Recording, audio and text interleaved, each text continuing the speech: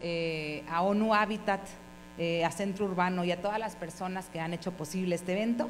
Eh, justamente en este mes de octubre, que es el, el- el mes urbano, donde el mundo se congregó para entender que muchos de los factores que promueven el bienestar y el desarrollo sostenible pasan a través del diseño de nuestras ciudades. Y por eso el diseño de nuestras ciudades es tan importante y lo traemos el día de hoy eh, a este foro. Mi nombre es Marcela Chapa, directora de la Escuela de Relaciones Internacionales de la Universidad de Anáhuac Querétaro. Eh, y antes de, iniciar, eh, quisiera eh, mencionar a las personas del presidium, al maestro Luis Eduardo Alberde Montemayor, les pido un aplauso para él, por favor.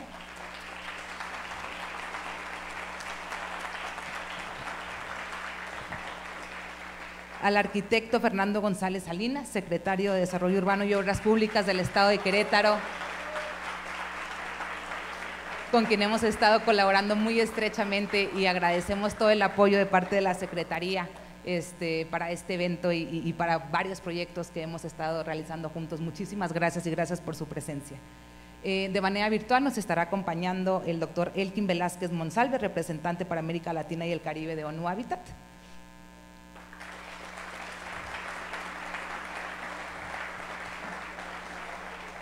Y el doctor Hugo Isaac Cepeda, coordinador internacional urbano para la Secretaría de Relaciones Exteriores.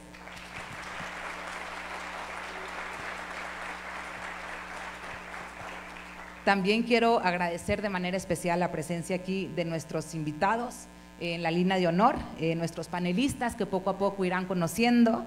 Este, tenemos aquí presente a, Tania Palacios Curi, nuestra secretaria este, de Desarrollo Sostenible del municipio de Querétaro. Eh, tenemos a Moisés Moreno Melo, también presente, secretario de Desarrollo Urbano, Movilidad y Ecología del municipio de, Corregidora. Eh, a Rafael Montoya Bolaño, secretario de Desarrollo Social del municipio de, Corregidora. Y por supuesto a nuestro presidente municipal, este, Roberto Sosa. Bienvenido siempre eh, a tu casa.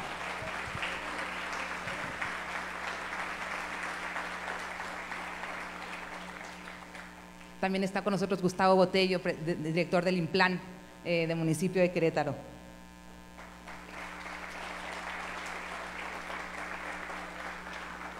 Y bueno, demás panelistas que poco a poco y talleristas que poco a poco a lo largo del día irán conociendo. Gracias por estar aquí. Eh, para dar inicio a nuestra bienvenida, eh, escuchamos unas palabras por parte de, de Luis Eduardo Alberde Montemayor, nuestro rector. Bienvenido.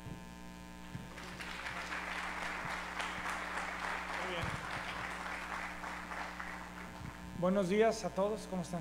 Eh, ayer tuve una junta con, con el director de, de ingenierías de la universidad, Marcos Escobar, que tiene un doctorado en MIT.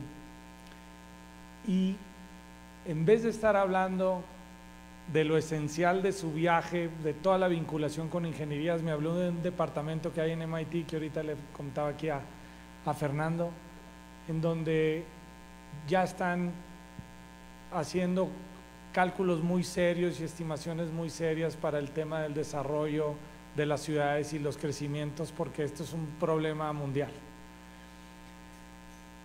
Abro ahí con esto porque ¿alguien sabe qué está pasando en, en, en la 5 de febrero? Sí, ¿no? Creo que es un tema común. Entonces todos, todos tenemos que estar aquí porque a todos nos compete esto. Eh, saludo, saludo a la línea de honor. Fernando, buenos días, un gusto. Estamos platicando con Fernando de un proyecto de la universidad y, y- y ya quedamos de whatsappearnos muy pronto. Hugo, buenos días, eh, un honor que estén aquí. Saludo también a Tania, nuestra egresada de Derecho, que, que le pone una, un bello rostro y una sangre muy, muy, fresca al municipio de Querétaro. Muchísimas gracias por todo lo que haces. Eh, a nuestro querido Roberto Sosa, que ya ha estado aquí en este auditorio, presidente municipal de Corregidora. Él hablará del municipio, pero creo que ya lo saben, que es uno de los municipios más importantes del país en cuanto a desarrollo, crecimiento y planeación. Moisés, buenos días. Gustavo, buenos días. eh, y buenos días a todos ustedes. Entonces, sí es un tema importante. Y es un tema que nosotros cuando éramos estudiantes ni lo pensábamos. Y que es obligado, yo creo que ya quieren que me calle, es obligado de tener el tiempo y ponernos a reflexionar. Y las ideas frescas de los jóvenes van a ser bien importantes para los que no somos tan jóvenes como ustedes. Dios los bendiga a todos. Mache, felicidades por el evento. Eh, y vamos para adelante porque estoy seguro que la ONU, Habitat, eh, los municipios, los, el Estado mismo necesita de estos espacios de reflexión y que salgan propuestas. Hay que hacer que venga esta gente de MIT, hay que ver si vamos para allá para ver qué están haciendo y cómo podemos hacerlo en conjunto y que, y que como Estado, como con nuestras problemáticas podamos salir adelante de la mano de los expertos que están dando ideas para que el mundo mejore. Dios los bendiga otra vez y muchas felicidades por estar aquí a todos ustedes. Gracias.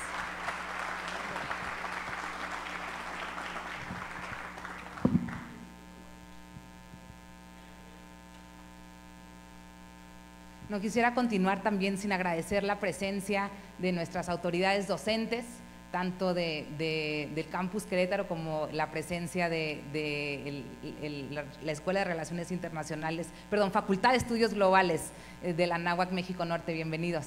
Este, muchísimas gracias por estar acá con nosotros. Y a continuación eh, le tendremos el gusto de, cederle la palabra a, le decía ahora en la mañana, al hombre del momento, este, al arquitecto Fernando González Salinas, secretario de Desarrollo Urbano y Obras Públicas del Estado de Querétaro.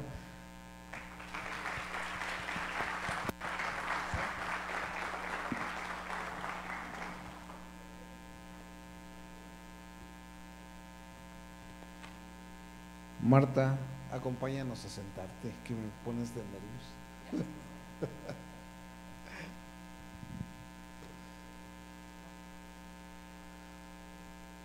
Muchas gracias. Eh, muy buenos días a todos. Saludo con mucho gusto al maestro Luis Eduardo Albert de Montemayor. Rector, muchas gracias por, por estar acá, por hacernos eh, fácil esta, este, este formato, por eh, permitirnos hablar de esto que nos importa mucho a todos. Efectivamente, tenemos una obrita sencilla hoy aquí en la zona metropolitana que afecta a 120 mil vehículos que pasan diariamente y que forma parte del sistema nacional carretero. Este, pero pues aquí estamos en Querétaro, yo creo que es una ventaja, una gran ventaja estar aquí y participar, porque todos participamos en esto todos como ciudadanos, yo he dado mucho las gracias cuando me, preguntan en los medios, me dicen eh, que cómo, cómo veo a la sociedad. La sociedad se ha comportado con nosotros increíblemente y eso es formar parte de este trabajo, ese es hacer esta ciudad, hacer esta zona metropolitana y convertir a nuestra, a nuestra ciudad en, pues, en áreas mucho más vivibles. Eh, saludo con mucho gusto a iba a estar en línea Luis Bernardo, no llegó, pero finalmente a Tania, Tania, ya sabes que te, eres la niña consentida del desarrollo urbano. ¿eh? Al presidente municipal, a Roberto. Roberto, muchísimas gracias por estar acá, a todo el gabinete, a, los, participantes de, corregidora, eh, eh, a los compañeros de la Secretaría de Desarrollo Urbano y Obras Públicas, Muchísimas gracias eh, por acompañarnos también a todo el público en general. Quiero, quiero saludar también, tenía la intención de saludar a Elkin, este, porque personalmente me habían dicho que iba a estar aquí. Este, eh, finalmente, finalmente cuando, cuando hizo favor de estar acá en Querétaro, sí nos dio la oportunidad de enseñarle Querétaro. Y déjenme les digo, eh, y él lo va a tener que, que asegurar, este, porque nos dijo que estaba sorprendidísimo con una ciudad tan, tan dinámica que conserva su centro histórico. O sea, tuvimos oportunidad de enseñarle la ciudad y bueno, pues un equipo de la SDOP, eh, estuvimos trabajando con él y además le compartimos todo lo que estábamos haciendo. En realidad, eso o, realmente lo impresionamos o es muy buen actor. Pues dijo que está impresionado. Eh, saludo también a, a Isaac Cepeda. Muchas gracias, Hugo, también es el coordinador eh, general internacional urbano. Este, muchísimas gracias. Eh, es un aliado enorme de Querétaro, además tiene raíces en Querétaro. También, también este es, es parte de lo que nos hemos aprovechado también en ese sentido. Muchas gracias por siempre eh, mostrarse abiertos al diálogo y al seguimiento de todos los trabajos que estamos haciendo aquí en Querétaro y también habernos permitido presentar el proyecto 5 de febrero ya a nivel internacional. Este, eh, sabemos que contamos con, la anuencia por parte de, la Cancillería mexicana y estamos muy contentos y, por eso nos sentimos mucho más comprometidos en ese sentido. Eh, a Marcela Chapa. Marcela, muchísimas gracias. ¿Desde cuándo nos conocemos? Y en otros escenarios también ahí, este, andaba en GIS, no, no, no, no se la pueden imaginar ahora este, de, cómo andaba el otro día allá en, Polonia, que fue donde tuvimos oportunidad de conocerlos. Este, muchísimas gracias a todos, pero sobre todo este, saludo a todos los amigos, a todos los estudiantes, a los estudiantes que estén aquí, este, los saludo con mucho gusto. Em, quiero comentarles que estoy plenamente convencido de que es solo a través de este tipo de eventos donde podemos, este, pues la academia, el gobierno, la administración pública, podemos ponernos de acuerdo, podemos ponernos de acuerdo sobre el futuro de Querétaro y principalmente con la participación de los jóvenes, con la participación de los estudiantes en las universidades donde más adelante van a tener que tomar las determinaciones serias acerca de nuestro desarrollo. A través de los planes lograremos tener una muestra clara de lo que cada uno desde nuestro trabajo estamos vislumbrando, desde nuestras ópticas estamos vislumbrando.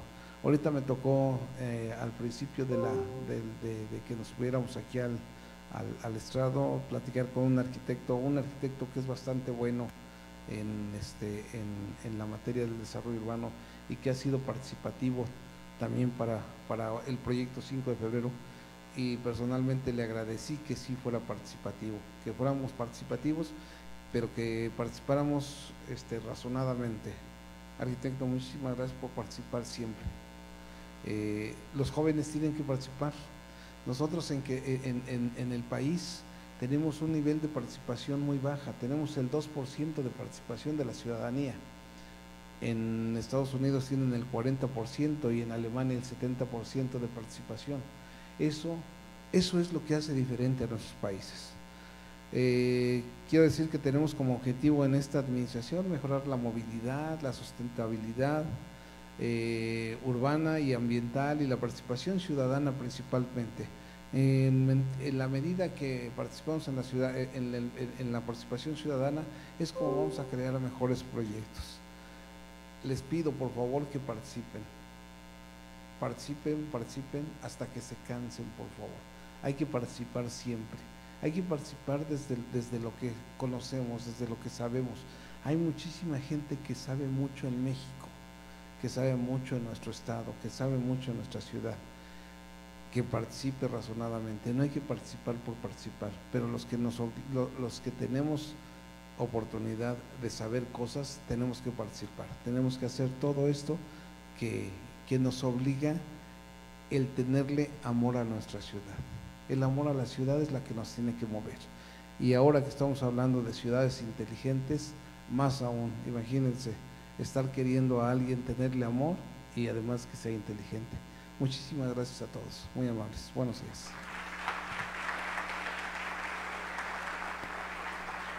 Muchas gracias.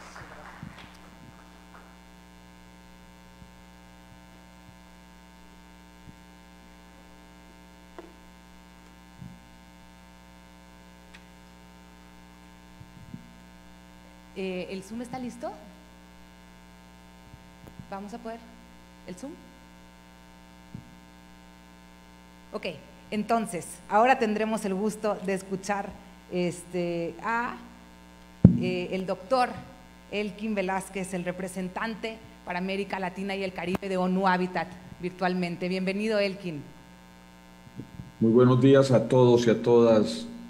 Muchas gracias por la convocatoria a esta importante reunión en eh, la Universidad de Anahuac, Querétaro, interconectando ciudades inteligentes, transformando nuestra casa común. Quiero comenzar saludando al maestro Luis Eduardo Alverde, quien es el rector de la universidad. Muchas gracias por hospedarnos acá. También a la maestra Marcela Chapa, quien dirige la Escuela de Relaciones Internacionales de la universidad. Eh, a mis eh, amigos de la eh, Administración Federal, del Gobierno Federal, a Javier Garduño de la SEDATU, también, por supuesto, a Hugo Isaac, coordinador internacional urbano de la Secretaría de Relaciones Exteriores, a Rodolfo Osorio, director general de vinculación con organizaciones de la sociedad civil de la Secretaría de Relaciones Exteriores y por, supuesto nuestro amigo Fernando González Salinas, secretario de Desarrollo Urbano y Obras Públicas del Estado de, Querétaro. Eh, para ONU Habitat es eh, eh, muy importante poder compartir con estas instituciones sobre todo con todos ustedes, todas ustedes que participan en este evento o que nos ven en este momento por las redes sociales, porque seguimos en la en la eh, en el proceso de movilizar en la mayor medida posible a la sociedad civil, toda, todas las instituciones, para avanzar en la implementación de la nueva agenda urbana, para avanzar también en la localización de los objetivos de desarrollo sostenible.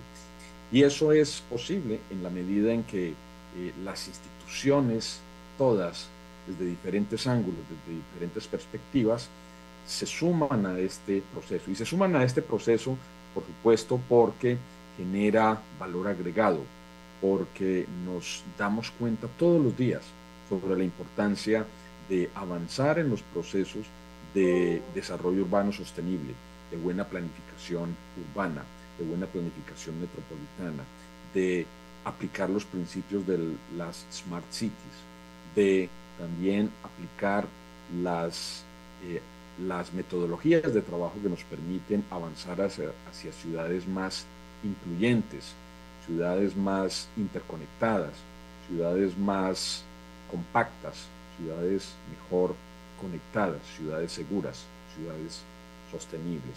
Y eso lo logramos en buena medida gracias a que hay eh, muchísimos esfuerzos que se están ah, eh, incrementando de manera exponencial en términos de, uno, intercambio de buenas experiencias. Nos importa y nos interesa escuchar quién lo está haciendo bien, que nos inspire.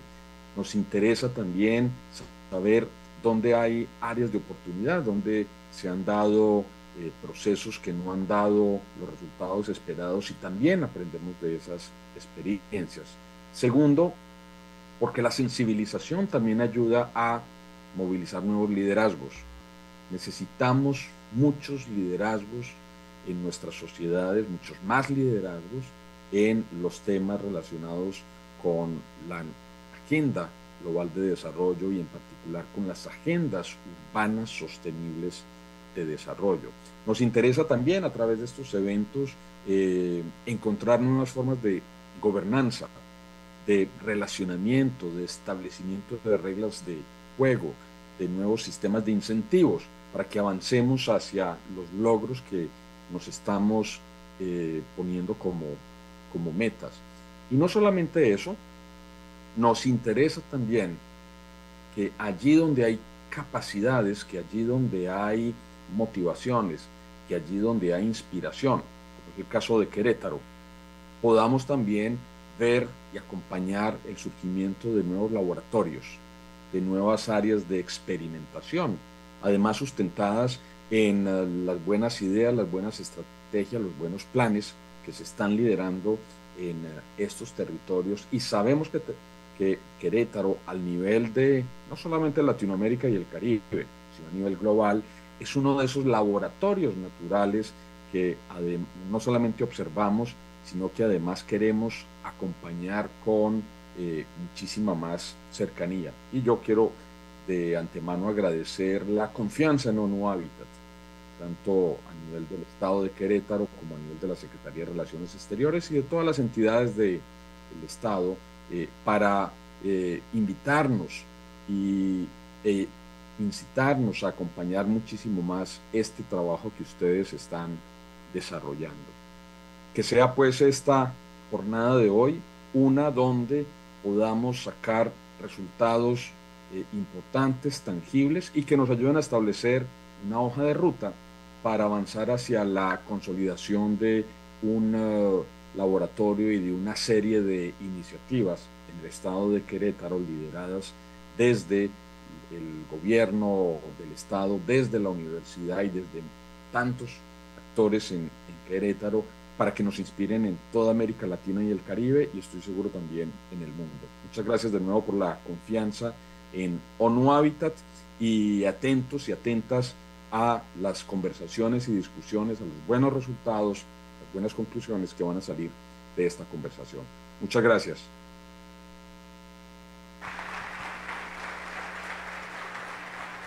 Muchas gracias, Elkin. Importante mencionar que eh, justamente la idea de, este foro es que los resultados que, salgan de, las consultas y los diferentes paneles y los diferentes talleres y laboratorios que vayamos a estar teniendo, los podamos dar a las autoridades locales para que las autoridades locales entiendan cómo los jóvenes entienden la ciudadanía, la ciudad y su, y su vivir aquí en, en nuestro territorio, ¿no? Eh, también tenemos el, placer de contar con, un video de bienvenida del maestro Luis Bernardo Nava Guerrero, presidente municipal de Querétaro, que vamos a pasar a continuación. Amigas y amigos, me da mucho gusto saludarles y darles las gracias por su invitación a participar en este foro tan importante para el futuro de nuestra ciudad. Quiero agradecer a la Secretaría de Relaciones Exteriores por todo el esfuerzo que está haciendo para realizar este laboratorio para el desarrollo y la innovación de las ciudades. Porque en Querétaro trabajamos para convertirnos en una de las ciudades inteligentes más importantes de México, empleando estrategias digitales, cerrando brechas, innovando en emprendimiento y tecnología para que ustedes, las y los jóvenes y todas las familias en Querétaro vivan mejor. Por ello, Hoy le he pedido a nuestra secretaria de Desarrollo Sostenible, Tania Palacios, que comparta con ustedes las acciones que hemos realizado en esa materia, bajo un enfoque de gobernanza urbana para mejorar las condiciones de todas y todos para que nuestra ciudad siga siendo en las próximas décadas el Querétaro que tanto queremos. Me disculpo por no poder estar ahí presente, pero me tuve que venir a la Ciudad de México a atender una reunión con las y los diputados federales para revisar temas del presupuesto federal. Les agradezco mucho su comprensión y les mando un fuerte abrazo, deseándoles que sea este laboratorio un gran éxito. Saludos, muchas gracias.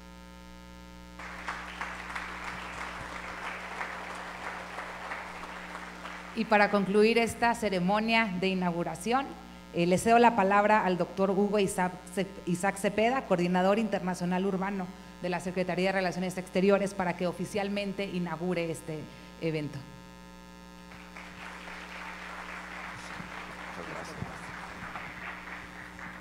Buenos días a todos, a todas que nos acompañan.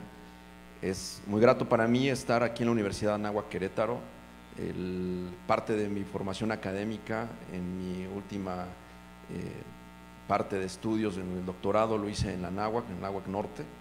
Soy doctor en Administración Pública, de la cual tuve la oportunidad de encontrar y detectar algo muy interesante, un punto que cuando empecé a estudiar en la parte de la licenciatura, tomé la decisión de irme al Instituto Politécnico Nacional, donde forman estas mentes físico-matemáticas y técnicas para introducirlas a un campo laboral.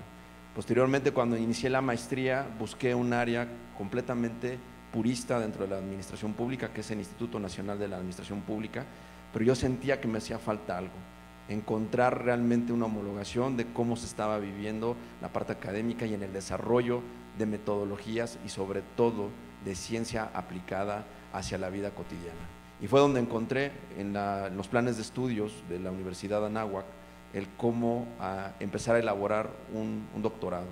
Y por eso me congratula estar aquí en un espacio tan hermoso, una universidad que se encuentra, sí, a orillas de, de una ciudad, pero que también empieza a ser parte de un nodo integral como está haciendo Querétaro. Como primer punto quiero agradecerle a la maestra Marcela Chapa, alguien que nos conectó la vida a través de un proyecto que se hizo aquí en Querétaro, que tuvo que ver qué piensan las mujeres, qué opinan las mujeres respecto al tema urbano. Un proyecto que se hizo por el Programa de Naciones Unidas para el Desarrollo Sostenible y la maestra muy atenta, muy inteligente, alguien con convicciones y con una visión tremenda. tuvimos la oportunidad de, de conocernos y poder interconectar ideas y posteriormente nos volvimos a ver en Polonia, justamente ella poniendo muy en alto a la Universidad de Anáhuac Querétaro. Muchísimas gracias maestra por todo el ímpetu y toda esta correlación que estamos trabajando desde la Cancillería. También un aplauso por favor a la maestra.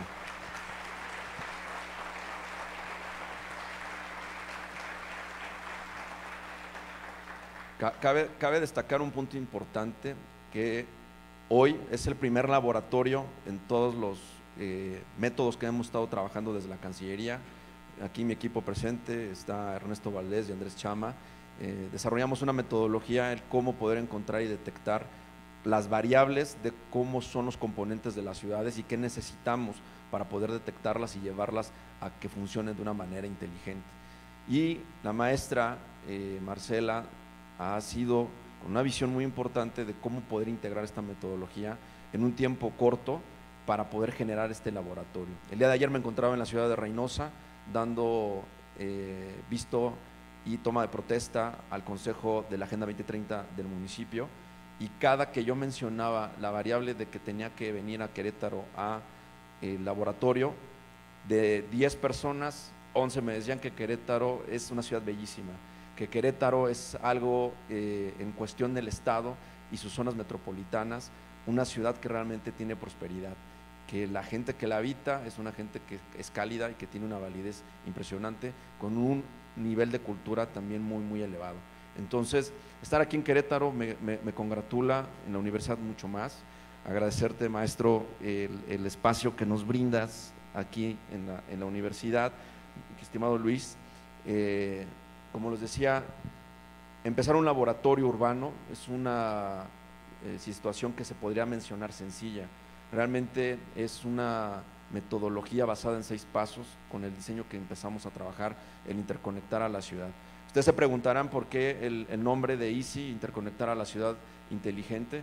La primera interconexión que hacemos son valores inducidos que tenemos los seres humanos. Sociológicamente estamos trabajando a través de la inducción y esos valores son valores adquiridos que nosotros vamos procesando en nuestra mente y correlacionando qué cantidad de información vamos obteniendo y qué vamos aprendiendo de las personas que queremos y admiramos. Eso es parte de la interconexión y eso hace a la ciudad. La ciudad hace lo que la ciudad ve. La mayoría de ustedes aquí presentes tuvieron el espacio-tiempo de determinar y tomar una decisión de venir aquí. En principio, quizás por las autoridades que estamos representando este evento. Segundo, quizás por la curiosidad de aprender algo más. Y tercero, justamente por la variable que el componente que va a tener este laboratorio. En principio va a tener el foro donde van a estar autoridades y expertos en materia platicando sobre el tema de la ciudad, sobre el estado de Querétaro, sobre las obras que se están llevando aquí y sobre la variable de cómo componer hacia una ciudad mucho más resiliente, eficiente e inteligente. Pero también la variable del componente del laboratorio. Esos cuatro talleres que van a existir a través de especialistas en la materia. Uno de ellos los vamos a tener de la parte de la Cancillería, otro por parte de la Universidad de Querétaro, otro por la Universidad de Anáhuac y por el parte del Implan de aquí de Querétaro que lo va a llevar el arquitecto Botello, que es un, también gran amigo. En ese sentido, tomen en consideración cada punto que ustedes y donde estén les genere un valor agregado de conocimiento, les va a dar una mejor interconexión con la ciudad. Por eso nosotros nombramos el, proyecto Interconectar Interconectando Ciudades Inteligentes. En principio es por un valor inducido. Segundo, la ciudad es un componente que lo hacemos todos, es un ecosistema que se trabaja en todos sus componentes para que funcione de una manera ordenada. Ese ecosistema lo hacemos aquí presente. Se, se, hace en función de microecosistemas para generar un macroecosistema y eso es lo que hace la ciudad. ¿Cómo hacerla de una manera inteligente? Hay situaciones complejas hoy en día sobre los mencionados Smart Cities y que para muchos especialistas el término no es lo más correcto. Sin embargo, lo que nosotros creemos de la Cancillería y en el estudio que hicimos de alrededor de 14 mil ciudades, creemos que el componente es funcionar de manera inteligente a través de todos los, los sistemas que ya existen. En ese sentido, quiero también agradecer la presencia del arquitecto Fernando Salinas, gran amigo, secretario que tiene una, magnífica posición hoy en día, es el hombre del momento, a todo su equipo, el arquitecto Rogelio, al, arquitecto David, a todos ellos que hacen posible un tema importantísimo que para muchos quizás se volvería incómodo, pero les va a traer una ventaja importante. Querétaro está destinada a ser el nodo, el nodo del país del desarrollo. Tómelo en consideración y si me están grabando y queda aplicado, se van a acordar de mí en los próximos tres años. Será el nodo de conexión de todo el país. En ese sentido, agradecer también a la presencia del alcalde Roberto Sosa, porque también las zonas metropolitanas tienen que ver mucho con el desarrollo de las ciudades. Por ello, a nombre del canciller Marcelo Ebrard, que también está sabido de lo que estamos trabajando hoy, uno de los cinco ejes que él tiene dentro de su agenda es la agenda de la ciudad, la materia urbana. Y hoy más que nunca, él menciona sobre los componentes de cómo crear prosperidad a través de proyectos y laboratorios donde los jóvenes tengan una participación constante. También a nombre de la subsecretaria Marta Delgado, subsecretaria para Asuntos Multilaterales y Derechos Humanos, ella es presidenta de la Asamblea General de ONU Habitat. Como ustedes bien saben, México en el 2019 asumió el cargo de ser presidente de la Asamblea de ONU Habitat y la responsabilidad que tengo hoy en el cargo que llevo es generar realmente a través de la Agenda 2030, la nueva agenda urbana, todos los mecanismos que puedan impulsar a las ciudades. Y en este caso, pues obviamente al estado de Querétaro. Y también un punto que es indudablemente que no podemos dejar atrás es toda la vinculación con la sociedad civil. El director general para eh, las sociedades civiles en la Cancillería, el maestro Rodolfo, es también un actor importante que ha venido tejiendo junto con nosotros una interconexión de cómo es el comportamiento de las ciudades a través de la sociedad civil, que son componentes que determinan mucho el actuar del día a día. Por ello, el, el tema de hoy, que es la casa que hace realmente un modelo de poder vivir a la ciudad. Tenemos hoy una determinación que después de los talleres vamos a tener data y esa data la podemos presentar en, en el corto plazo. Es decir, quienes estén interesados, que se quieran quedar, van a aprender cómo hacer ciudad, cómo entender a la ciudad, cómo vincularse con la misma, cómo aprender inteligencia artificial para que entiendan también a la ciudad y que se lleven con mecanismos de cómo regular y adaptarse a la misma. Así es que siendo, no sé qué, qué hora es, siendo las 10.51 del 27 de octubre, doy por inaugurada, si me por favor se ponen de pie. Siendo las 10.51 del día 27 de, octubre de 2022, doy por inaugurado este laboratorio urbano en una casa tan importante como es la Universidad de Nahua. Auguro mucho éxito, de verdad. Muchísimas gracias a todos y todos que están aquí presentes. Quédense, porque de lo que se van a llevar aquí va a ser un aprendizaje infinito y de los cuales van a aprender cómo hacer ciudad. Muchísimas gracias.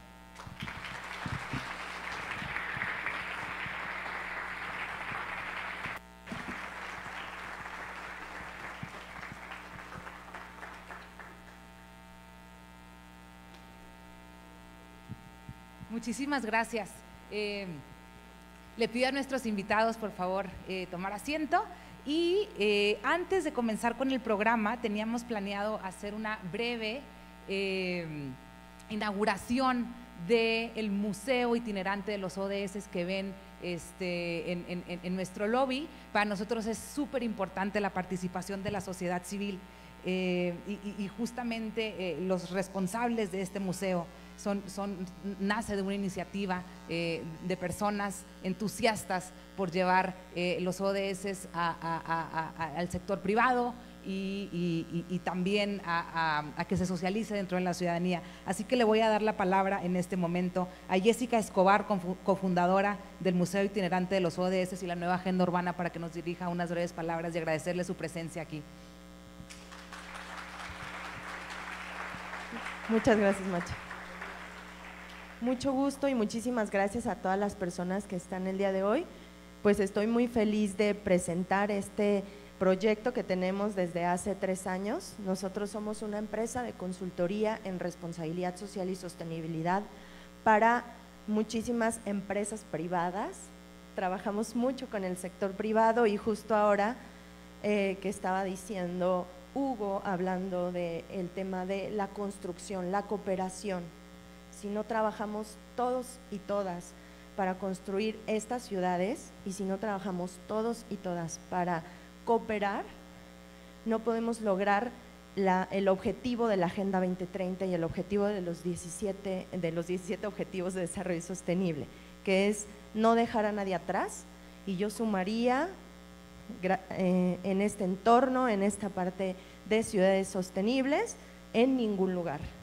Entonces, estamos muy felices eh, de acompañarlos, de traer al Museo Itinerante los Objetivos de Desarrollo Sostenible, porque este museo es una herramienta pedagógica y lúdica que busca hacer que todas las personas en todos lados conozcan qué es la Agenda 2030 y de ahí partimos.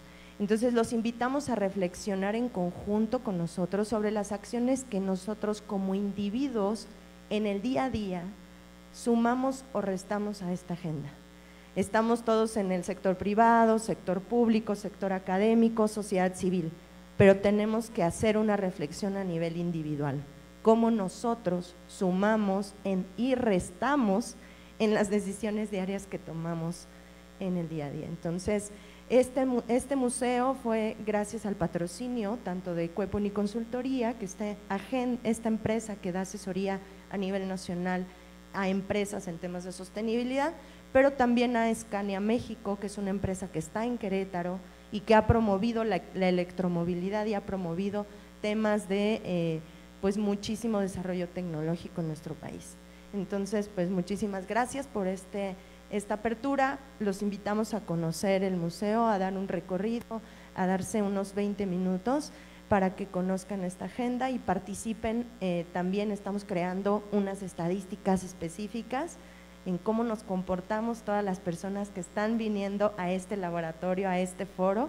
Entonces vamos a crear esas estadísticas también en el museo y muchísimas gracias por invitarnos. Muchísimas gracias. Sin más, damos por concluida esta ceremonia de inauguración eh, y nos preparamos para el primer panel de nuestra mañana. Muchísimas gracias.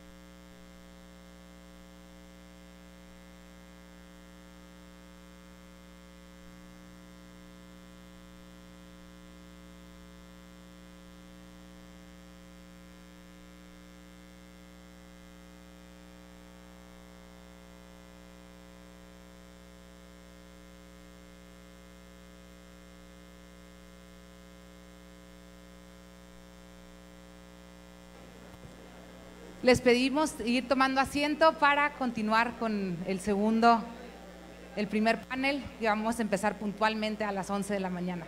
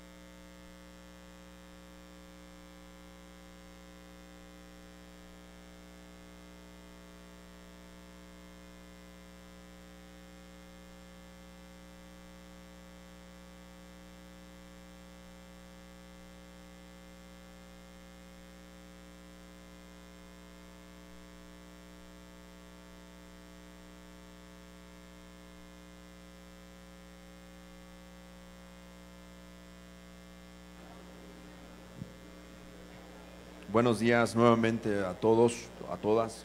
Los invito para que puedan tomar su lugar. Vamos a dar seguimiento ya a los trabajos.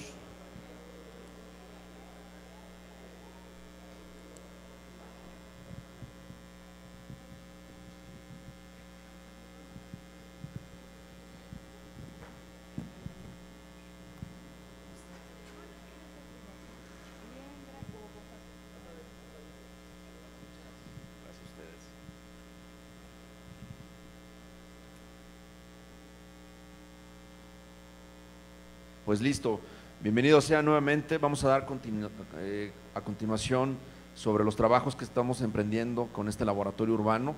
Eh, esta fase que es eh, parte del foro, estamos hablando sobre la gobernanza urbana, un fortalecimiento de la cooperación hacia la prosperidad. Tomemos en consideración que uno de los mecanismos que se busca dentro de 8 y 10 minutos para que puedan exponer los trabajos que están haciendo cada uno de ustedes con este modelo de la gobernanza urbana, este gobierno, gobierno o modalidad de buscar gobierno abierto para que se pueda entender con la sociedad. Entonces, la maestra Tania Palacios Curi, que es secretaria de Desarrollo eh, Sustentable del gobierno del municipio de Querétaro, es una joven política mexicana con más de ocho años de trayectoria, es defensora de los derechos humanos y promotora de la participación de la juventud en ámbitos ciudadanos. Ella también se dedica a impulsar temas de igualdad, emprendimiento, generación de empleo, defensora del medio ambiente y promoción del deporte y la cultura. Es licenciada en Derecho con mención honorífica en la Universidad de Anáhuac, Campus Querétaro, y realizó los estudios especializados en derechos humanos en el Instituto Internacional de Derechos Humanos en Estrasburgo, Francia. También participó en el marco del periodo número 44 extraordinario de sesiones de la Corte Interamericana de Derechos Humanos y también fue diputada de la 49 legislatura del grupo parlamentario por el partido PAN y pues obviamente su trabajo está enfocado al esquema de la parte urbana y la mejora de las mismas en el caso de las ciudades. Asimismo nos acompaña el presidente municipal eh, Roberto Sosa, que es presidente municipal de, Corregidora y en el cual pues él tiene un, eh, una vasta carrera dentro de la administración pública, apasionado del deporte y del servicio público. En el 2018 asumió como eh, presidente municipal de Corregidora y fue reelecto en el 2021. Esto cabe hacer una precisión porque justamente los modelos que estamos analizando hoy en día respecto al tema de la ciudad es cómo la gente, las personas, los ciudadanos pueden generar un componente de identidad con quien lo representa. Soy de la visión de que cuando el líder lleva y tiene un enfoque de trabajo y que realmente genera y permea en la sociedad, viene esta parte de aceptación. Yo creo que el trabajo continuo que ha hecho Roberto refleja mucho el éxito que estás teniendo enhorabuena por, por seguir así, de verdad. Eh, teníamos la presentación y participación también del presidente municipal del gobierno de Huimilpan, el ingeniero eh, Guzmán Cabrera. Sin embargo, tenemos la participación del secretario de gobierno, Sócrates Valdés, que ha tenido eh, diferentes cargos públicos referentes también a los modelos urbanos. Ahorita él también explicará eh, lo que hace en el ayuntamiento y cómo coadyuva en la parte de cómo Huimilpan, Corregidora y Querétaro son unas de las zonas metropolitanas de mayor referencia ahora en el país. Poco de datos duros, tomemos a consideración que existen cinco eh, entidades o cuando menos zonas metropolitanas en el país. La primera, pues, como bien lo saben, la Ciudad de México y su zona metropolitana, que se toma en consideración arriba de los 10 millones de habitantes. En el año todavía 1970-1980, las tres ciudades más grandes del planeta, que era Tokio, Nueva York y la Ciudad de México, con una concentración de más de 10 millones de habitantes, se consideraban zonas metropolitanas y megalópolis.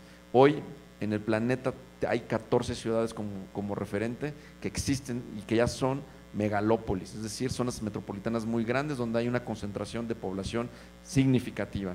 Estamos calculando que hoy en el presente tenemos 7 mil millones de seres humanos en todo el planeta, distribuidos en zonas metropolitanas. La proyección que se tiene para el año 2050 es que seamos 9 billones de seres humanos, 9 mil millones de personas conviviendo, compartiendo, generando y buscando resolver necesidades todos los días. En esa composición, la proyectiva es que en este año, para el 2050, el 75 o el 80% de las ciudades van a ser urbanas, va a tener concentración poblacional muy grande y en el cual, tomando en consideración la radiografía que tenemos en México, aproximadamente hay 169 zonas metropolitanas, de las cuales cinco, mencioné una, la Ciudad de México, la segunda está en el estado de Nuevo León, la, la tercera está en Guadalajara, la cuarta es Tijuana, porque tiene un aspecto relevante respecto a su zona de, de colindancia con Estados Unidos, en la cual viven y coadyuvan 35 millones de personas todos los días. Y de ahí damos un brinco hacia la zona de Querétaro, con su zona metropolitana. Es una zona que ya está aproximadamente entre los 1.8, casi 2 millones de habitantes, y que la proyección será en los próximos 4 o 5 años también una aceleración para dar este paso a 2.3, 2.5 millones de habitantes. ¿Qué es lo que hace efectiva una zona, un estado y que se vuelvan prósperas? Sumamente tiene que ver tres ejes. La parte del ente público, la parte de lo que es la, academia, cómo conformarlas, cómo crear metodologías, cómo hacer sociedades más resilientes y cómo hace la sociedad civil un trabajo de calidad para que se vuelvan ciudades prósperas. En ese sentido, voy a ceder la palabra a la maestra Tania para que nos explique desde la función que tiene, desde la materia de Querétaro como municipio, todos los trabajos que están haciendo.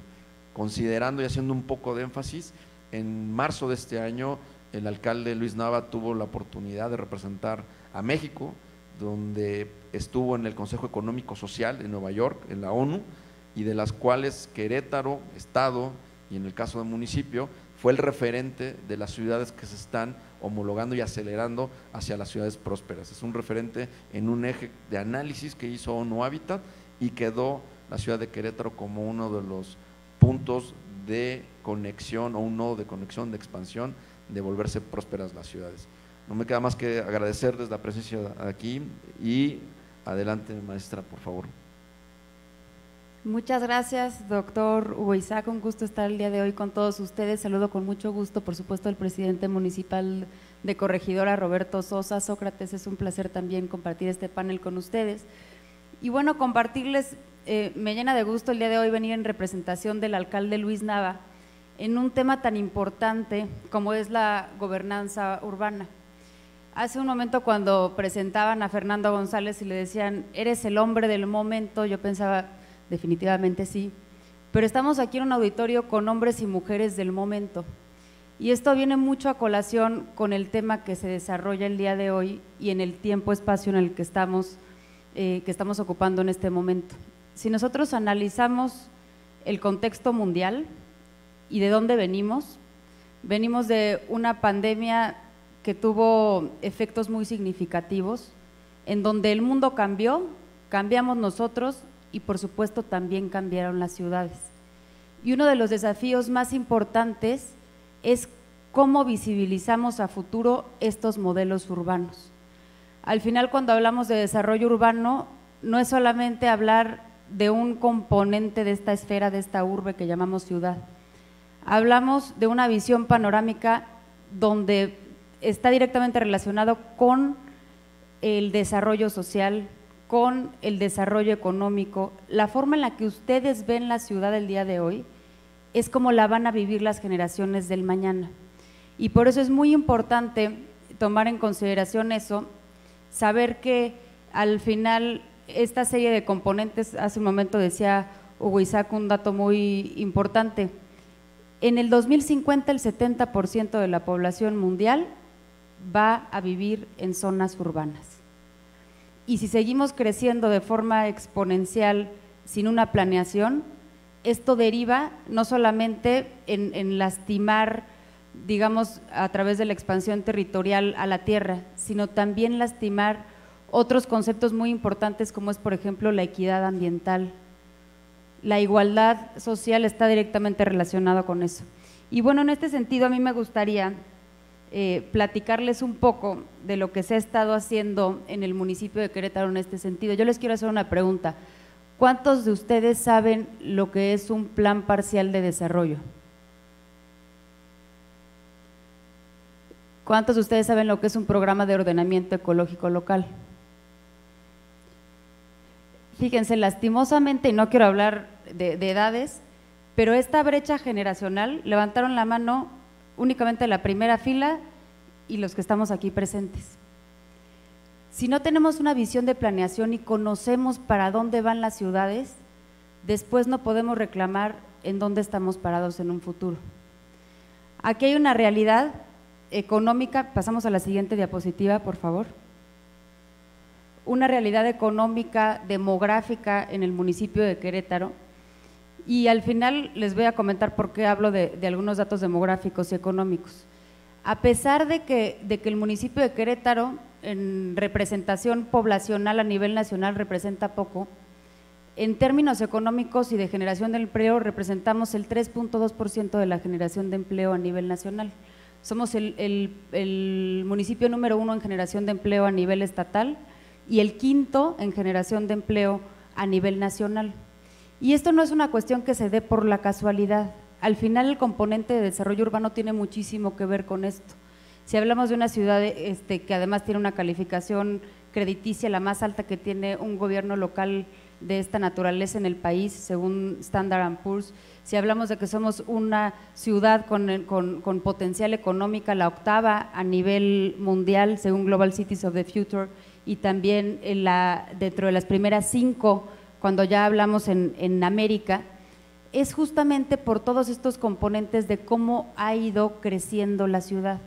Pero estamos llegando a un punto estratégico, un punto crucial, en donde estos factores económicos, lo decía también Hugo, de conectividad, de ser un nodo logístico que conecta este, eh, a, Querétaro con, con, Estados Unidos a través de vías carreteras, con proveeduría local, que es muy importante ahora, sobre todo que tenemos alteraciones en las cadenas de suministro. Todas estas características no son nada si no tenemos una correcta planeación urbana. Y cuando yo les hago esta pregunta es porque en realidad, en muchos sentidos y en muchos municipios del país, estamos viendo fotografías viejas para planear ciudades nuevas. Entonces, si podemos pasar al siguiente, por favor. Entonces, me gustaría comentarles uno de los puntos más importantes que estamos desarrollando en el municipio de Querétaro para poder favorecer esto. Un punto muy importante, y aquí les voy a decir una frase, la arquitectura y las ciudades sin recursos humanos no existirían, sin recursos naturales no existirían. Y la arquitectura y las ciudades sin seres humanos no tendrían sentido. Entonces, al final hemos tratado de impulsar en el municipio de Querétaro una agenda donde el desarrollo de la tecnología y la sustentabilidad avancen en un mismo sentido, encontrar un equilibrio entre esto, pero para eso es muy importante primero tocar base con lo más importante, que es en dónde estamos parados, en qué célula viva que se llama ciudad, este, podemos proyectar toda esta agenda de sustentabilidad y desarrollo urbano sin, descobijar otra parte importante de la, la planeación, la administración y la gobernanza. Entonces, uno de nuestros objetivos es lograr ciudades y asentamientos donde las personas puedan gozar de igualdad de derechos y oportunidades ambientales. Y por eso uno de los factores más importantes para poder iniciar con esta planeación fue crear el Instituto de Ecología y Cambio Climático en el municipio de Querétaro. Esto nos puede dar eh, además de una gran agenda ambiental en donde a través de un fondo municipal para la protección ambiental y el desarrollo sustentable podemos tener programas para atender el cambio climático, para proteger la biodiversidad, también los elementos para poder planear a conciencia, para poder visibilizar también el desarrollo urbano, las autorizaciones que se den en el seno de la Dirección de Desarrollo Urbano con, una, con un visor de la realidad que va más allá del momento en el que estamos viviendo, para que no le toque al de atrás, para que seamos conscientes de lo que les vamos a dar a los que estén por delante. Y por eso también estamos implementando diferentes proyectos y programas como por ejemplo el de huertos urbanos, rurales y azoteas verdes, un proyecto muy importante también que tiene que ver con la polinización, porque yo no sé si sabían, pero desde los 80 a la fecha hubo una reducción en más del 90% en el número de colmenas eh, en, el, en el municipio de Querétaro y seguramente si esto lo escalamos a nivel nacional, pues serán números muy parecidos. Estamos trabajando también de la mano con la Secretaría de Desarrollo Sustentable a nivel estatal para poder descarbonizar no solamente a las delegaciones municipales en el municipio de Querétaro, sino también el comercio, el servicio, la industria y traemos un proyecto de fotovoltaicos de paneles solares muy interesante.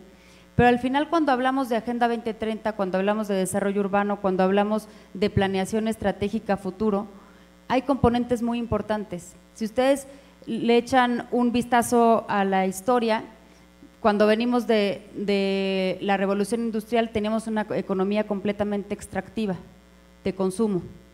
Hoy la visión de desarrollo social se centra en las personas. La visión de esas urbes y del desarrollo urbano se centra en los ciudadanos. La visión de una pirámide de movilidad también se centra en el peatón y la visión de seguridad pública incluso también ya, no solamente se enfoca en la, tecnología, en la inteligencia y en los elementos policíacos, se centra en las células sociales que pueden llegar a prevenir. Y por eso este es un catálogo de algunos de los proyectos que hemos desarrollado de la mano con de, de forma interdisciplinaria.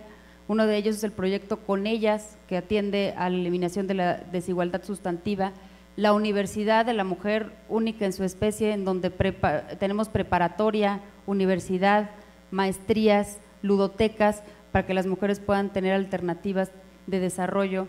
Ciudad Exponencial, que busca a través de un catálogo de acciones en pro del desarrollo económico, enfocarnos en algo bien importante que es el talento, el desarrollo de talento, movilidad, la aplicación Vamos Juntos para compartir el vehículo con conocidos y Contigo Prevenimos, que es una estrategia conjunta de prevención social de la violencia. Y saco esto a colación porque cuando hablamos de desarrollo urbano, el pastel completo, si carece de movilidad inteligente, no está tan completo. Si carece de una planeación en donde tengamos modelos estratégicamente controlados con los servicios óptimos, hablemos de servicios públicos, pero también servicios de salud, donde hablemos de, espacios óptimos para, para el desarrollo de las personas, al final es lo más importante. Eres donde vives y vives una ciudad cuando todos estos componentes se encuentran en sintonía. Y una parte bien importante, el gobierno abierto. Hoy uno de, de los elementos más importantes para poder eh, incorporar el acceso a la información, la transparencia, la participación ciudadana, el presupuesto participativo en un, solo combo, es dejar que los ciudadanos, lo mencionaba muy bien Fer González, participen, pero no solamente es dejar que participen, al final es su derecho, no solamente que vean a la administración pública detrás de una ventana, sino que se metan hasta la cocina para poder decidir en conjunto. Y por eso a través de la administración pública municipal se han creado diferentes convocatorias y acciones para poder permitir que los ciudadanos no solamente sean parte de la toma de decisiones, sino que vivan la toma de decisiones. Entonces, eh, a mí lo que me gustaría compartirles el día de hoy es que tenemos que ser una ciudad, sí, con acciones locales, pero con una visión global. Y tenemos que atender a los retos del presente de cara a los que sabemos que serán los retos del futuro. Vivimos en un mundo que rota todos los días con impacto diario de nuevas tecnologías, con un cambio climático que se agudiza, con cambios en cadenas de suministro, con conflictos geopolíticos. Si no existe una planeación de ciudad, si no existe una visión de ciudad, si no conocemos conceptos tan prácticos como es un plan parcial de desarrollo urbano, no solamente estaremos en crisis, sino que estaremos viviendo los efectos de una, de una generación que creció, pero que no se dio cuenta hacia dónde. Muchas gracias.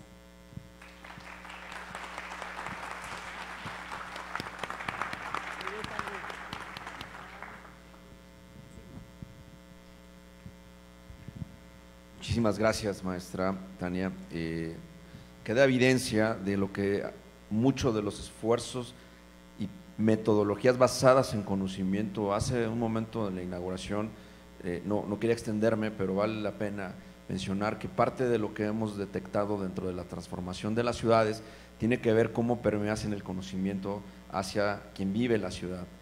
Entiéndase que eh, uno de los valores que les decía al principio es cómo hacemos a través del valor inducido, el valor significativo, lo que conduce hacia nosotros que nos genere un bien y eso es a través del conocimiento. Justamente lo que eh, menciona la, maestra Tania eh, respecto al desarrollo de una ciudad, a tener un gobierno abierto, a tener una sociedad mucho más resiliente, tiene que ver cómo construyes en conocimiento y cómo vives la ciudad. Uno de los mecanismos que se va a implementar en el taller es justamente cómo entiendes tu ciudad, cómo vives la ciudad, qué variables son los o cómo, cómo está cómo son los componentes dentro de tu ciudad que para ti son preocupantes. Es decir, una parte del taller que vamos a dar en, la, Cancillería será cómo se involucra cada uno de ustedes en hacer ciudad. Desde que el elemento ciudad, cómo se entiende, cómo se expresa. Y bueno, voy a ceder la palabra al maestro Roberto Sosa. Eh, Roberto, el tema del municipio, la parte de la ciudad que tú estás encabezando hoy en día. Platícanos cómo es la visión, cómo es tu eh, eje rector sobre cómo estás basando que realmente Corregidora tenga este aspecto que se está volviendo un eje también atractivo de inversiones, de expansión, de cultura y que también la sociedad empieza a tener un comportamiento hacia Corregidora. Entiéndase que a veces cuando estamos en el exterior o con otras entidades de, la República, hablar de Querétaro nos enfocamos en las capitales y en su mayoría el comportamiento es normal, es natural, porque es lo que nos enseñan. Pero cuando aprendes a vivir la ciudad puedes definir y determinar otros elementos y otras ciudades. En este caso, me gustaría escuchar mucho de Corregidora, así es que adelante, estimado Roberto. Muchas gracias, doctor. ¿Cómo están, jóvenes? Buenos días a todas, a todos. Me da mucho gusto estar una vez más con las y con los Leones de la Universidad de Anáhuac, que es la segunda vez que tengo oportunidad de venir. Entonces estamos muy contentos de estar con ustedes en esta mañana. Gracias, doctor. También muchas gracias a Tania Palacios, muchas gracias Sócrates por estar con nosotros, también a Marce, muchas gracias por la invitación. Gracias, estamos muy contentos de verdad de estar aquí con nosotros. Agradezco también al arquitecto Gustavo Botello Montes, director del Implan del municipio de Querétaro. Gracias por estar aquí con nosotros. A mi amigo René Rentería, que está por acá. Muchas gracias, estimado René. Moisés Moreno, que es mi secretario. Justo hablando, doctor, de este tema de lo que diseñamos como ciudad, necesitábamos crear una secretaría que, en donde pasara la planeación de lo que iba a pasar con Corregidora. Y aquí está el secretario de Desarrollo Urbano, Movilidad y Ecología, Moisés Moreno. En un ratito también él va a platicar con ustedes a profundidad de lo que estamos haciendo en el municipio. Pero bueno, muchas gracias de verdad por, por esta invitación. Quiero empezar preguntándoles a ustedes jóvenes que levanten la mano quién vive en el municipio más hermoso de todo el país que se llama Corregidora. Exactamente, hasta, hasta la felicidad luego, lo se ven en sus caras. Y miren, les quería preguntar esto por lo siguiente, y van a coincidir conmigo. Corregidora ha dejado de ser el pueblito. Hace 20, 25 años, cuando alguien pensaba en Corregidora, en realidad lo que uno pensaba era en el pueblito, en la cabecera municipal, en nuestra parroquia, en el santuario, en nuestras tradiciones, nuestras costumbres. Y hoy quiero decirles que estas tradiciones y esta cultura, nuestra gente, va a seguir en el corazón de lo que es la ciudad. Pero hoy ya Corregidora es una ciudad en crecimiento y en progreso. Quiero platicarles a ustedes que lo que diseñamos ha sido también a, raíz, y quiero decirlo como es, con toda transparencia, de las buenas prácticas de gobierno que hemos tenido en el municipio de Corregidora. Un municipio conurbado que crece a un ritmo altísimo. Nuestra tasa de crecimiento es del 4.5% anual. Todos los días llega a vivir gente a Corregidora. Y yo tengo en esta idea, si me lo permiten, hacer la, la idea, que hay mucha gente que sale por diferentes situaciones y circunstancias de sus estados, por inseguridad, porque no hay, no hay economía y desempleo, y salen de sus estados. Y cuando salen de los estados preguntan, bueno, ¿y a dónde nos vamos a ir? Yo les puedo asegurar, sin temor a equivocarme, que cada vez más es, hay que ir a Querétaro, porque Querétaro, como estado, sin duda es un referente nacional, es un oasis todo lo que pasa en el Estado somos de verdad afortunados por todo lo que está pasando. Entonces, la gente viene aquí, pero cuando llegan al Indio Conín con sus mudanzas, preguntan, bueno, ¿y aquí a dónde? Entonces, la gran respuesta es muchas veces, ¿qué es vivir bien? Hacia la izquierda, que es corregidora, ¿no? Entonces, la gente empieza de verdad a llegar a vivir acá. Hubo un estudio que la ONU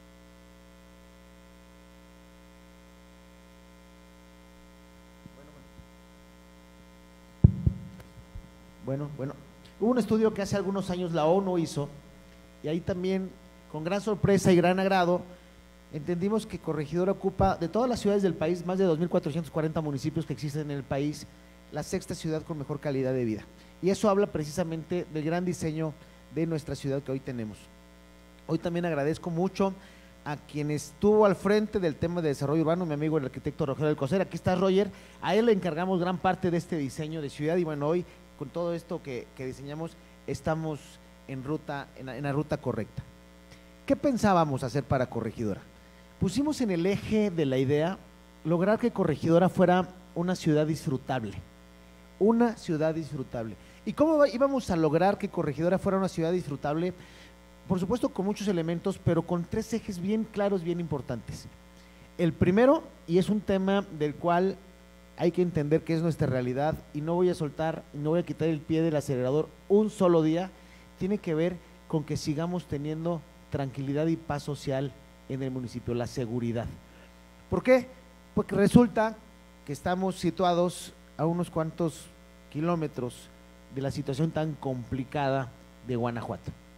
Entonces, toda la inversión que hacemos hoy en Corregidora, prácticamente más de la mitad del presupuesto se va a temas de seguridad, con una estrategia integral de verdad sumamente interesante, que por supuesto por un lado es toda la parte de la tecnología, la fuerza patrullas, más policías, más capacitación de ellos, más módulos de vigilancia, fibra óptica, más de 1.500 cámaras conectadas, un edificio de seguridad pública súper importante, toda esa parte de la fuerza está ahí y continuamos trabajando en ello. Además, policías bien pagados.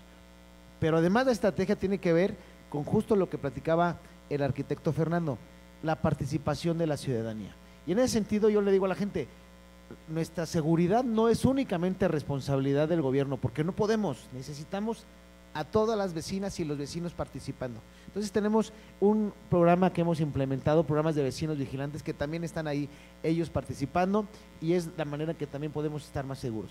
Y además dentro de esta estrategia tiene que ver también con la recuperación de espacios públicos, tomas de desarrollo social, jóvenes, todos los jóvenes, aquí veo muchísimos, en Corregidora lo tengo clarísimo, si logramos hacer que ustedes tengan alternativas de educación, de deporte y de cultura, van a estar ustedes en centros de desarrollo humano, en casas de cultura, en unidades deportivas, y eso los va a alejar de las calles. Entonces, esa estrategia social va junto con la parte de seguridad, junto con todo el tema de servicios públicos. Entonces, este es uno de los grandes ejes para lograr que Corregidora pueda ser una ciudad disfrutable. El siguiente eje tiene que ver, y voy a dejar al final el tema que aquí nos trae, que es el tema del desarrollo urbano. El siguiente eje tiene que ver con un gobierno cercano, transparente, con buenas prácticas de gobierno. En Corregidora tenemos también la fortuna de tener buen manejo de finanzas transparentes, sanas, con muchos reconocimientos. Entonces, seguiremos teniendo esta gran responsabilidad de lo que tengamos que hacer como gobierno. Creamos también una secretaría dentro de este eje en la atención ciudadana. Anteriormente tenemos una sola presidencia municipal, hoy tenemos ya otra en la zona de Candiles que atiende los tres órdenes de gobierno y tiene que ver con darle calidad para la gente, para que la gente, y yo también lo tengo muy claro, no pierda el tiempo en una oficina de gobierno, sino que la pueda disfrutar con su familia y en otros lugares. Entonces, este es el otro eje.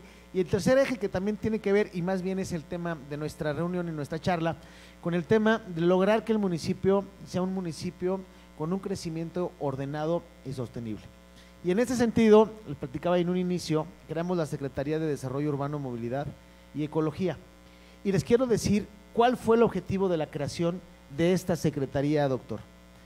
El objetivo de esta secretaría era lograr que en Corregidora, después de dejar de ser el pueblito yendo hacia una gran ciudad metropolitana, no nos pasara lo que le sucede al 90% de las ciudades del país, que es que crecen como pueden y hacia donde pueden.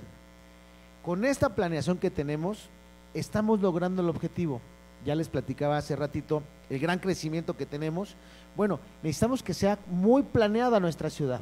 Hoy tenemos nuestros planes municipales ya también actualizados, están también publicados, tenemos nuestro programa también de ordenamiento territorial, estamos trabajando en planes ecológicos, entonces estamos en este gran diseño de nuestra ciudad. Hoy llegan muchos inversionistas a construir desarrollos de gran nivel, pero están muy claras las reglas del juego que hemos puesto nosotros. Cuidar siempre el tema del agua, temas de transporte, el medio ambiente, que para nosotros es básico que pueda tener cualquier desarrollo en el municipio. Entonces son reglas muy claras que se los ponemos a nuestros amigos que llegan a invertir al municipio. De esta manera, con estos tres ejes, vamos trabajando en ruta de lograr que Corregidora se convierta en esta gran ciudad disfrutable. Que cuando la gente llegue eh, a Corregidora se sienta de verdad con tranquilidad, con felicidad. Y la responsabilidad que tenemos nosotros desde el gobierno, sin duda, tiene que ver, y así lo tengo yo de claro, que cuando un ciudadano abra la puerta de su casa por la mañana, encuentre la calle limpia, el árbol podado, una patrulla cerca, un parque digno para su familia y de esta manera lograr esta ciudad disfrutable. Entonces, esta es la gran idea que tenemos en el municipio. Hay muchas prácticas, seguramente el secretario Moisés más tarde entrará en ello. Un tema que para mí es importantísimo. También entramos a un proyecto de transporte, un gran reto para las zonas metropolitanas, hablando de las zonas metropolitanas, el transporte es sin duda un gran reto y nosotros en Corregidora echamos a andar un proyecto que de verdad es de los más importantes y me siento súper orgulloso en platicarlo, un proyecto que se llama Movivan, transporte eh, municipal, pagado con impuestos de los de los ciudadanos de Corregidora que conectan colonias. Y lo que hace este transporte es acercar a nuestras vecinas. Primero empezó siendo para mujeres, pero hoy ya lo pueden utilizar estudiantes de bachillerato y también adultos mayores. Y acercamos a la gente a las troncales del Crubus y de esta manera que puedan hacer su vida mucho más eficiente y mucho más, mucho más tranquila. Así es que bueno, son muchas de las prácticas que tenemos, pero para mí lo más importante era que ustedes jóvenes supieran que tenemos una visión clara de lograr que en Corregidor haya planeación y haya orden, que haya planeación y haya orden para lograr nuestra ciudad. Y por, y por cierto, lo quiero platicar, estamos logrando lo que soñamos durante mucho tiempo en Corregidora. ¿Cuál era este gran sueño? Lograr que Corregidora dejara de ser el gran dormitorio de Querétaro. Porque en Corregidora, ya les platicaba yo, se vive bien. El problema era ese, que solamente se vivía bien.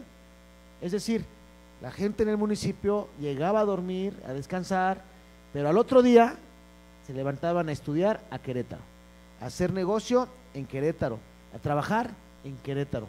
Hoy, en nuestra ciudad de Corregidora, ustedes van a encontrar servicios de todos los niveles, planeación, están llegando las inversiones, tenemos ya en este, este año después de la pandemia más de 1.500 millones de pesos de inversión privada directa que han llegado, inversiones grandes, empresas importantes están llegando, parques industriales y de esta manera vamos a seguir haciendo que el crecimiento de nuestra ciudad sea importante.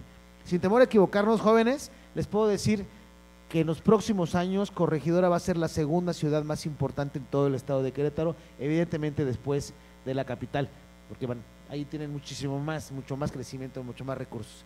Pues para, para mí sería todo. Muchas gracias por esta invitación y también decirles, eh, por último, todo esto que estamos, que les he platicado en la planeación, está acompañado de un gran proyecto que para mí tiene que también detonar el tema económico y tiene que ver con, un tema turístico.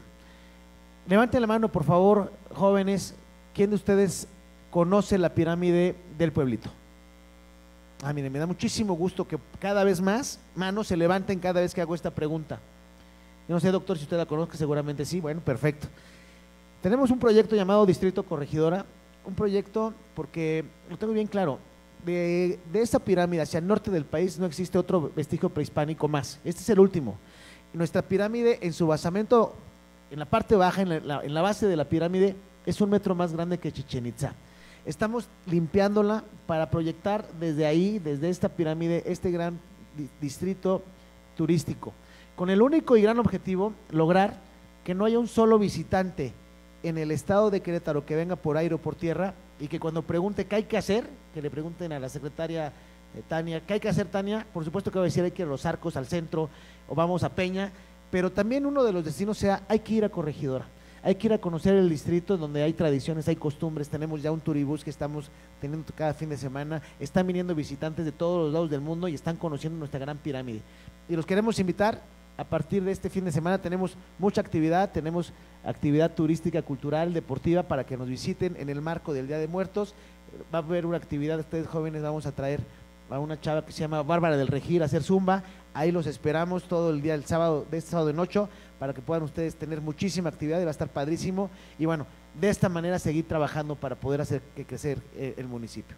Igual que ustedes, jóvenes de la Náhuac, nosotros pensemos que vamos a vencer el mal con el bien. Que Dios los bendiga y muchas gracias por la invitación.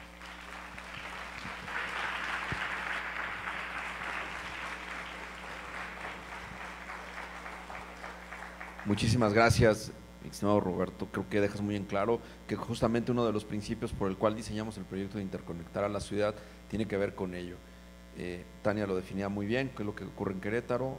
Roberto define muy bien lo que está haciendo Corregidora y esa interconexión, ese punto focal y ese nodo o micronodo que se hace para que pueda funcionar la ciudad tiene que ver, tiene que ver mucho con la prosperidad que generas a través de las políticas públicas que desempeñan desde, desde el municipio. Felicitarte por, por esta encomienda y la enmienda que dejas para las siguientes generaciones de poner un punto de crear esa prosperidad para corregidora. Y como bien lo dices, uno de los ejercicios que también se genera dentro de la ciudad son iconografías que conoces de la ciudad, íconos, hay hitos, hablando en términos arquitectónicos, y elementos que hacen y definen cuando buscas un rumbo. Hoy en día, pues la mayoría tiene el acceso a, al internet y ve en las aplicaciones, pero si ejercitáramos más nuestra imagen, nuestra imagen, cómo vivimos la ciudad, se vuelven los iconos, puntos de referencia para interpretar a la ciudad. Muchísimas gracias, Roberto. Voy a dar paso a Elkin, lo quería dejar al, al final, pero también tiene una agenda importante que atender, que mi intención era que Elkin pudiera definir en el caso de las tres zonas que componen el Estado como zonas metropolitanas, en su expertise, a él como, como el espacio que vino a vivir hace poco, que eh, vino a revisar parte de la ciudad y que bueno, darle, darle la palabra. Así es que adelante mi estimado doctor Elkin Velázquez.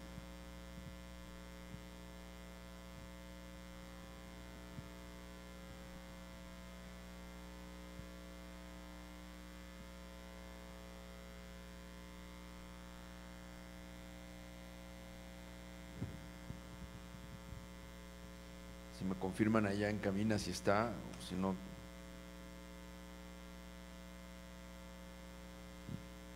Me parece que ya seguramente por temas de agenda eh, no, no, no está o si está. Ah, ok. Pues mucho, como, como les decía, en lo que se pueda hacer el enlace con, con Elkin. Elkin se encuentra ahorita en, en Río de Janeiro, ahí donde está la oficina de ONU Hábitat para América Latina y el Caribe y eh, ha sido también, junto con la Secretaría de Relaciones Exteriores, eh, encaminar mucho esta parte del enfoque de no dejar a nadie atrás, no dejar a nadie afuera, reducir la brecha.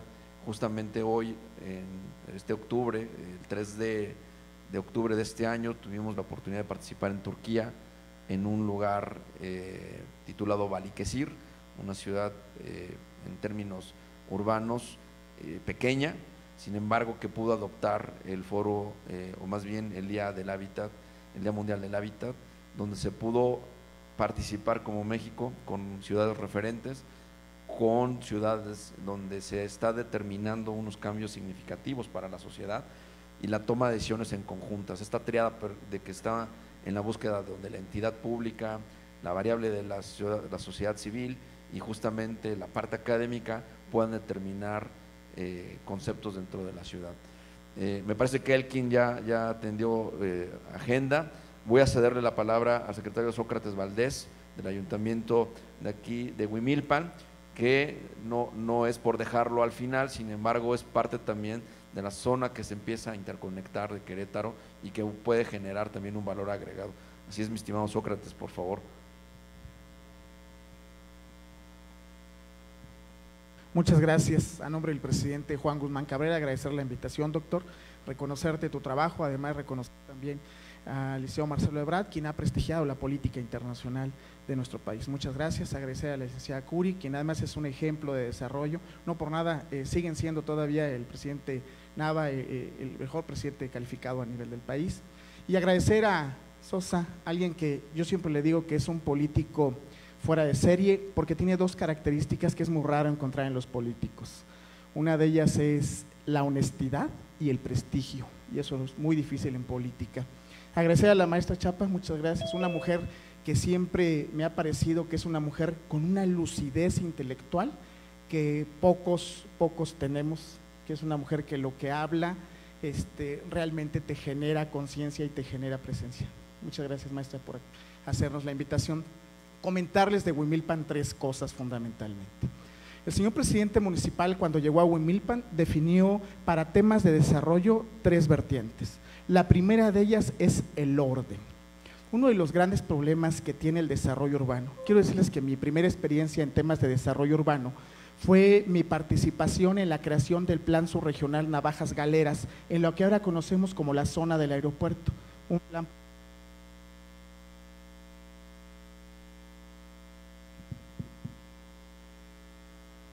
Gracias, maestro.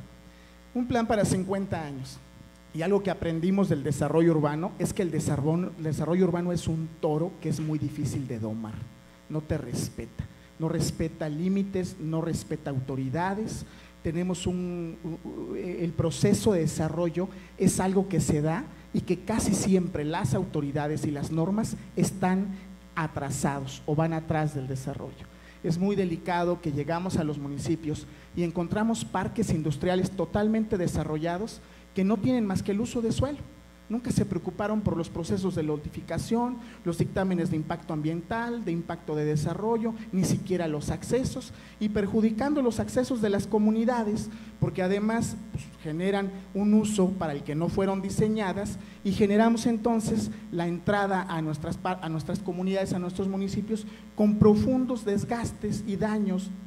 Y esto obedece a que como no tenemos normas fuertes y estrictas en el desarrollo, no lo podemos controlar. Y cuando digo que el desarrollo no respeta, es porque al final de cuentas este se va a dar con nosotros, sin nosotros, con la autoridad o sin la autoridad. Esto obedece a las necesidades, a los procesos económicos, a los procesos de crecimiento natural y a las propias necesidades que como familia, que como comunidad, que como municipio, como ciudad vamos generando. En esta primera parte, lo que hemos querido nosotros generar es un proceso de ordenamiento importante que nos permita tener, quiero platicarles una cuestión muy delicada y muy penosa del municipio, pero en el municipio teníamos dos programas de desarrollo y uno de ellos había generado ya fraccionamientos, autorizaciones, este, zonas habitacionales, zonas comerciales y no se encontraba inscrito en el registro público de la propiedad y había procedimientos que se habían llevado y que bueno, pues generaron una incertidumbre jurídica y que además pues no obedecían ni siquiera a cómo se había diseñado el municipio. Entonces teníamos dos programas y uno de ellos era ilegal, se habían otorgado usos de suelo y bueno, es un problema que estamos resolviendo. El segundo problema que tenemos es que nuestro programa de desarrollo, eh, de, desarrollo urbano no correspondía con nuestro programa de ordenamiento ecológico. ¿no? Entonces nada más imagínense, es como construir su casa, la casa de ustedes a un lado de un río de desechos tóxicos de una fábrica.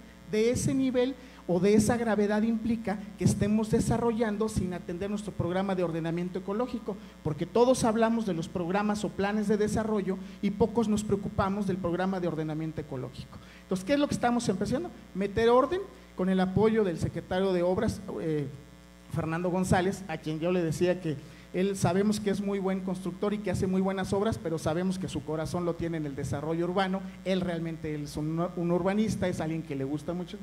Y lo que estamos generando es un programa de desarrollo urbano y un programa de ordenamiento ecológico que vamos a tener en febrero del 2023 ya publicado, donde vamos a poder definir nosotros qué es lo que queremos con reglas muy estrictas del desarrollo.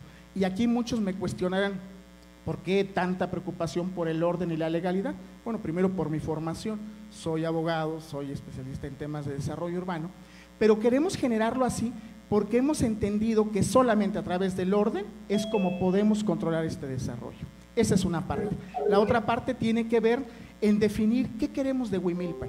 Huimilpan está en medio de dos, eh, de tres grandes eh, desarrollos que son ejemplos nacionales: Corregidora, El Marqués y Querétaro tenemos definir, queremos ser algo parecido al excelente municipio de Corregidora, queremos ser un ejemplo nacional como Querétaro, queremos ser un ejemplo de desarrollo económico como el Marqués, no, queremos ser el pulmón de Querétaro, queremos distinguirnos porque Huimilpan sea el pulmón de Querétaro y se vale en el desarrollo decir, esto es lo que queremos para nuestro municipio. Definir que, por ejemplo, al día de hoy ustedes van a todas nuestras haciendas, Hacienda Lagunillas, Hacienda Los Cues, y todas están totalmente ocupados los espacios para que la gente del Distrito Federal venga a festejar sus fiestas navideñas aquí, a Huimilpan, a Querétaro, y ese es el tipo de Huimilpan que queremos desarrollar. Queremos desarrollar en nuestro programa de desarrollo y en nuestro programa de ordenamiento ecológico un Huimilpan que sea el pulmón de Querétaro, pero que tenga niveles de desarrollo distintos a los que nos está generando la zona conurbada. Y eso solamente lo vamos a poder hacer con reglas claras, concretas y con la ley en la mano, con reglas muy estrictas para el desarrollo, porque tenemos que aprender de los buenos ejemplos de la capital, de Corregidor